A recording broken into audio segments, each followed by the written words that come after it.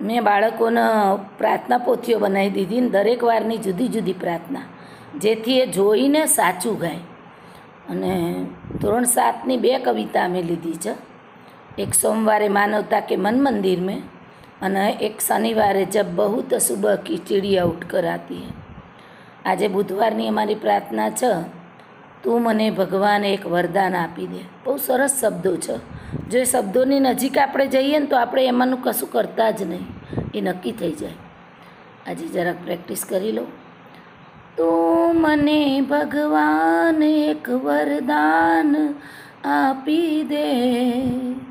જ્યાં વસે છે તું મને ત્યાં સ્થાન આપી દે. છોકરીઓને આ લીટી મેં બહુ સરસ સમજાવી કે જ્યાં વસે છે તું મને ત્યાં સ્થાન આપી દે. ભગવાન તો ક્યાં ક્યાં નથી વસતો? હે? છોકરીને તો મેં કીધું કે કેવા સરસ તૈયાર થઈને આવો. પણ કોઈ દિવસ તમે મેદાનનો કચરો ભરવા ગયા? કચરામાં ભગવાન છે. તો ફક્ત ઊંચાણ જ નહીં જોવાનું, નીચાણમાં પણ ભગવાન છે. તમે બેનપણી સરસ ડ્રેસ પહેરીને આવી કે બેનપણીને ઘરે મસ્તનો ઘર મસ્ત તો તરત તમને એ દેખાઈ જશે. પણ એક બીજી બેનપણી એવી છે કે જેનું સાવ ગરીબ ઘરે, એના ઘરે કોઈ નહીં જતું. તો એના ઘરે ભગવાન પહેલાં જ ત્યાં જાઓ ભગવાનની જોડે બેસવું બહુ અઘરું છે. આપણે ખાલી જોડે, ભગવાનની જોડે હું રહું એવી કલ્પના કરી શકીએ ને તોય ઘણું છે. એમાં ઘણું બધું આવે ને ઘણા બધા લોકો માટે આપણે ઘણું બધું કરી શકીએ. તું મને ભગવાન એક વરદાન આપી દે.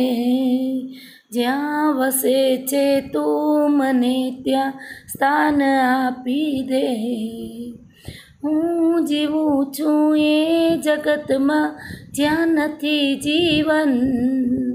જિંદગીનું નામ છે બસ બોજને બંધન.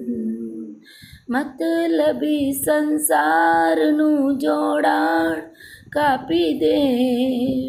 જ્યાં વસે છે તું મને ત્યાં સ્થાન આપી દે. આ ભૂમિ પર ખૂબ ગાજે પાપના પડઘમ.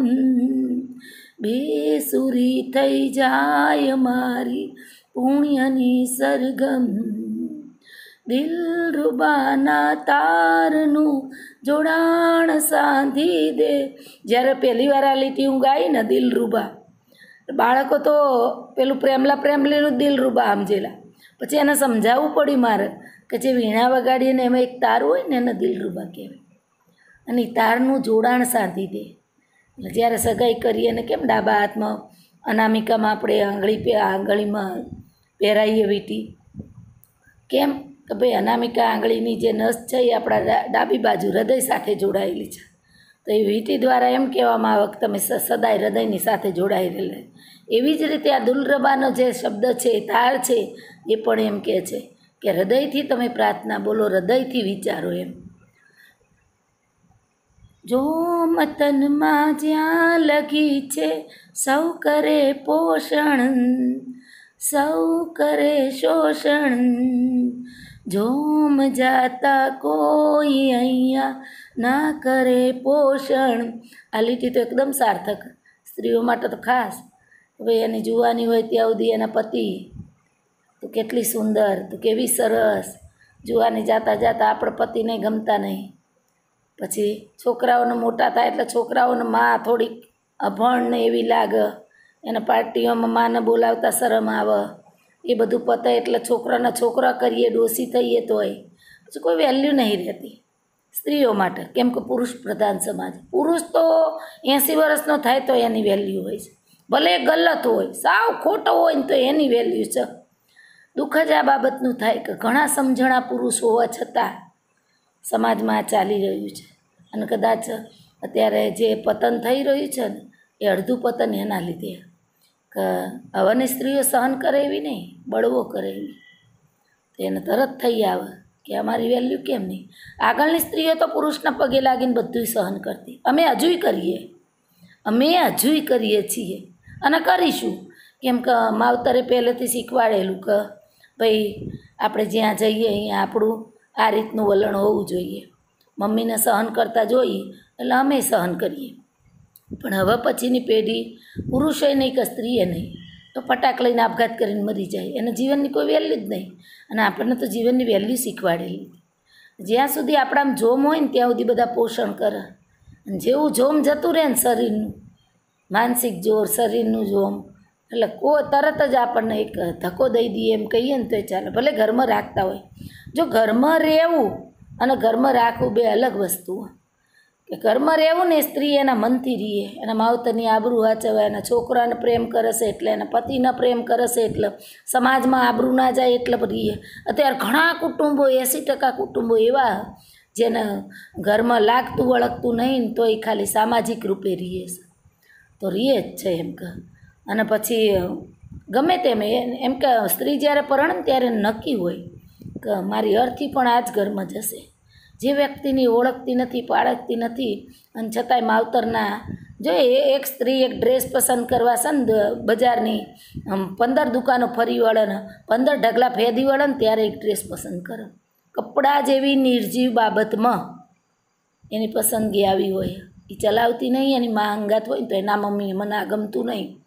અને એ જ સ્ત્રી જ્યારે મા બાપના કહેવા પ્રમાણે જોયા વગર એક પુરુષ સજીવ પુરુષ, લક્ષણ વગરનો પુરુષ, મર્યાદા વગરનો પુરુષ અહમવાળો પુરુષ.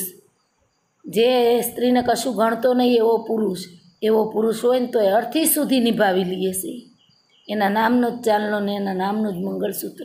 એના મનમાં દુનિયાની આખી, આખા, આખી દુનિયાના પુરુષો એના માટે ભાઈ હોય છે. અને તોય જો એ ઘરમાં રહેતી હોય ને, તો એની પોતાની, પોતાનું સ્વમાન, પોતાની મર્યાદા, સ્ત્રીનું સ્વમાન છે ને, એક જ બાબતે ગવાય ચરિત્રની બાબતે.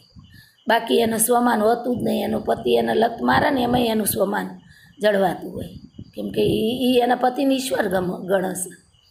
તો જ્યારે જો મેનામાં જતું રહે ને, તો ઘરમાં એની કોઈ વેલ્યુ નહીં હોતી ને તો સ્ત્રી રહેતી હોય. જોમ જાતા કોઈ અહીંયા ના કરે પોષણ. આ આ બાબત હોય છે. એકલી સ્ત્રી નહીં, પુરુષોમાં હોય છે.